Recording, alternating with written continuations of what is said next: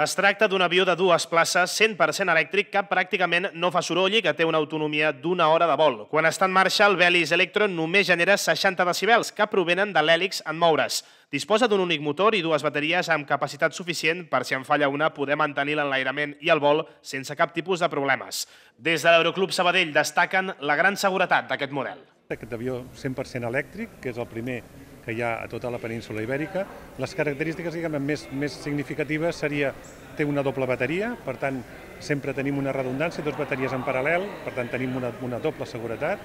És un, com heu vist, és un avió molt silenciós, és dir, molt silenciós, molt segur, i a més a més té un rati de planeig de 1,15, el que vol dir que per cada metre que vegem tenim 15 de llargada, el que ens dona una seguretat addicional. L'alcaldessa de Sabadell, Marta Ferrés, ha acompanyat el pilot en el primer vol del Belis Electro a Espanya. Ferrés ha destacat que la disminució en soroll i contaminació serà un gran pas endavant per millorar la qualitat de vida dels veïns i veïnes de la zona.